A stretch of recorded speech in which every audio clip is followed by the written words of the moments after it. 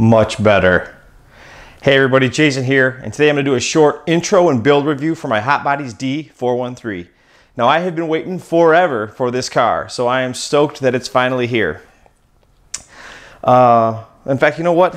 Here it is. This thing is absolutely, it, it's, it is a sweet four-wheel car. Now, this is the box right here, and I will take you through the build and through the instructions in just a few seconds. But uh, first, I guess I'd just like to show you the car in general the car itself is basically the next generation of four-wheel buggy. I mean, the first when I really made up my what really sold me on buying this car was when I was up in Chico at the 2013 IFMAR Worlds, and in a number two of the four-wheel mains, uh, Cavalieri spun out. Ty Tessmann was coming in hot, just drilled him because Cavalieri spun out and then pulled back out, and obviously there was nowhere for Ty to go, and it just, just, just ripped the front end off of Cavalieri's buggy. But in the process of Ty hitting the brakes and then hitting Cavalieri, Maifield slammed into Ty, and Maifield's car broke. So I guess this thing is pretty strong, whether it's offense or defense. This thing is a beast. And uh, when I saw that, I just thought, you know, how many of us amateur or rookie or club racers really want? How many of us actually need a car that is super durable? And so the durability. I mean outside of the handling, the car has looked awesome on every single outing. I mean, Ty won a national championship with it the first time out. I mean, it's just it's just hard to argue with the car's performance and its durability. And uh, so it's out. I know a lot of you guys are probably waiting on them for pre-orders. I've heard that the pre-orders just went off the chart, and and uh, Hot Bodies couldn't be happier. But uh, I got this car just a couple of days ago. I got it uh, on a Friday around 2:30 I took it to the track and started building it because I was going to race it that uh, Saturday morning at the JBRL. And I just kind of chickened out, to be completely honest. Yeah, I just didn't want to. I didn't want to put the car together and just kind of. I didn't want to go out there half baked with a car that might or might not be super dialed, and uh, you know. So I, I wanted to take my time, do it right. I took a file, I chamfered all the edges on the carbon and stuff like that. So super car. Let me give you a close up so you can see exactly what this car is all about. Okay, so here's the actual box that the D413 came in. And uh, I'll just show you what's left in the box now that the build is over. Uh, some stickers. It comes with a pretty sweet HPI Racing uh, credit card. Okay, let's be honest, that's not really a credit card, but it is some type of like a registration card where you can scan it with your phone and check some stuff out. Looks like there might be some information online. Here is the actual manual, and the manual was so ridiculously good. I just, just can't believe I mean, you open a bag and you'll see bag A, step one. Then step two, and you just, it's just, everything is just really straightforward. I mean, it tells you like on your diffs right here. Uh, fill to top of cross with silicone or diff oil. It, you know, you've got some real life measurements. When you start getting into actual the build of the car, there are actual, uh, basically you can build the car with the, with the uh, shorty or with the saddles and there are different diagrams for assembling the car each way. But when you actually get into the actual build, you know, just like a Tamiya manual, there are screw sizes that are one to one right on the page so that you can match everything up. So just overall, just a very, very good build. So that's it. Um, I haven't, obviously I haven't had to open up the servo, the, the servo stuff or the uh, motor mount just yet. Here is what you get with the car. It comes with all the extra sway bars. Comes with the extra pieces for mounting the, the saddles.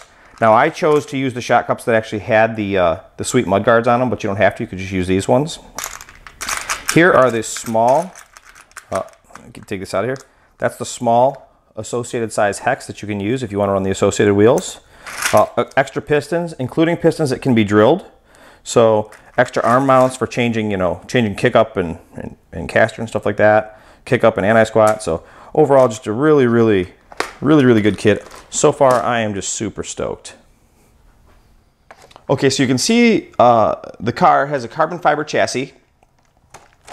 It's got these really elaborate high-level uh, braced uh, shock towers. The carbon fiber, the towers themselves are actually carbon fiber. I don't know how well you can see in the video. Now, uh, the car comes with these sweet uh, mud guards, and uh, everybody was kind of giving me a hard time for putting the mud guards on there. And uh, uh, I think the mud guards are sweet. I'm leaving the mud guards just in case you're wondering. The orange anodizing looks really good on the aluminum shock collars and on a few different pieces and the little stays for the sway bar and stuff like that. Um, I'm just, I'm just really stoked about how well this car went together. Um, I built a variety of B44s, a ton of associated products, but this car just built really, really amazingly well. Let me pop the body off real quick and I'll show you guys what it's all about. Now these body clips are on here with like the Vulcan death grip, so I'm actually gonna use my pliers to take them off.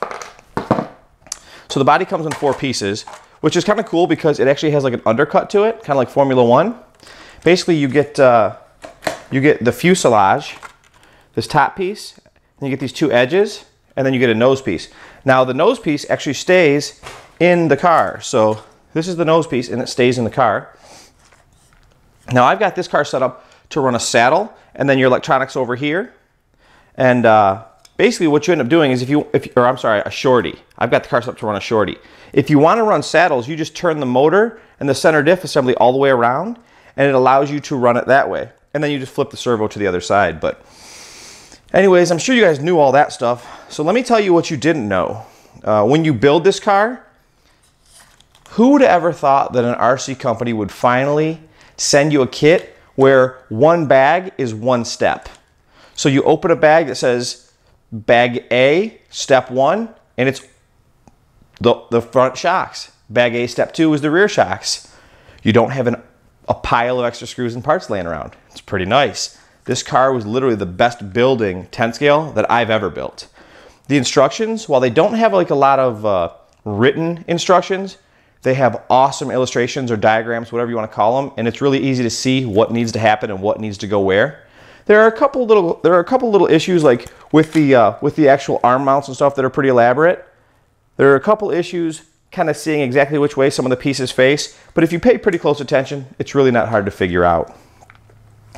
Um, this thing, it, the arms mount unlike anything you've ever seen. They actually, uh, there's actually aluminum inserts in the in the actual diff cases, and so the arms actually go in and then hinge pins go through and you can shim everything with washers and it just, it is just high level, man. It is just a really nice kit. The shocks went together really well. They come with bladders, but from what I understand, uh, Ty doesn't run any bladders. He cuts the bladders out and runs them all emulsion, so I'll be doing that. It, it has you build the kit with four hole one threes and four hole one fours.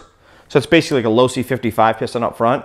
But in almost every setup that I've checked on Ty Tessmann's website, he's running a two hole 1.6 up front and a two hole 1.7 in the back. Uh, the car comes with 10,000, 100,000, 10,000 in the diffs. And apparently uh, the word on the street is, actually the truth is the word from the Tessmann camp is that 10,000 might be a little bit aggressive if you're not a super high bite surface. So head down to four or five or something like that in the back and it'll probably be better. Um, the build was just, I, I was just really surprised. The plastics are really nice. The build was really nice. Um, my only gripe and the whole, I got two gripes for this whole kit from building it. One, I was, obviously it's a metric kit and you end up having to use a 50 thousandths wrench on like the small screws that hold the plates onto the top of the arms and stuff like that, like the stiffening plates. And the screws that hold the diff together are 50 thousandths. Now I haven't talked to Torrance or Ty or any of those specifically about that, but I do know that a 50 thou is a 1.3 millimeter, or they're, they're, they're basically one and the same. But maybe they put those really small screws to hold the disc together because they wanted less rotating weight. It makes sense. But uh, speaking of the diffs, they actually come with all metal gears, which is really nice. You know, there's really only two buggies out there right now, in my opinion, that are like next generation four-wheel drive buggies. This buggy and the X-Ray. I know the Losi buggies out there, but I've just found that too many club racers have, have, have found it to be fragile where this and the X-Ray, they're just built beefy. The only downside to the X-Ray is the plastic diff gears, which takes you back to this. If you want a next level, super fast, super tunable, and super durable four-wheel drive buggy, this is really your only option. And this is it. This, this buggy is the next generation of four-wheel drive buggies. The center diff, I mean, not only does the center diff offer more tunability for the platform, but it protects your drivetrain. If you land rear wheel first on throttle, it'll transfer some of that power up to the front wheel so that you don't shock everything. I mean, I don't know that it needs to protect the drivetrain because it's all steel and steel gears and everything, but it's nice that it does. So now a couple things that I wish the kit would have came with that it didn't come with. uh, titanium turnbuckles. Um, the four-piece body, it's a pain in the butt to cut out. I mean, it's not the end of the world. It's cool that it kind of wraps in and everything like that. But it did take me quite a while to cut it out, Dremel it smooth. And if you're a painter, you'd probably have to paint over one edge and under the other and stuff like that. So it's, it's a little bit elaborate, but uh, I've got an answer for you for that. Basically, the turnbuckles on this car are 34, 38, and 48 millimeters. You need two, two turnbuckles in each length. And that's Lunsford. I did some math for you. So Lunsford part number 1064, 1065, and 1068. So if you buy the Lunsford, if you buy those Lunsford turnbuckles, they should fit just fine. Now Proline has a Type R body. It's 3417-00. Ordered it last night. Can't wait for it to get here. That's what Ty's running. Looks great, and it's one piece, so I'm all for that. Or maybe it's two pieces. It might be a nose and the rest of the body, but either way, it doesn't have the little bolts on the top like this one does. One last little thing that you might want to get your hands on for, for like spots like, like right here and stuff like that are the orange nuts that HPI offers just to make it look trick. And that's HPI 104, 120. Other than that, that's really about all you'll need. Um, so there's just there's just so much. Obviously, there's a lot, more to come. I've got some cool videos that I'm going to be working on. I'm going to be putting all my electronics in this. One last, you know what? There's one last piece of information I want to share with you guys before I cut this video short. This car comes with 13 millimeter hexes front and rear, but in the box it comes with 10 millimeter hexes so that you can run the wheels that come with the car, or you can run associated wheels. So for all you B44 guys that were looking for gear diffs and didn't want to spend a couple hundred bucks, you can migrate to this platform and your hundreds of dollars, of the wheels and tires will bolt right on. So major bonus. So hope you guys enjoyed this short review. Stay tuned for more upcoming videos, including the electronics install and actually running this buggy. And uh, we'll see you guys next time. Thanks for watching.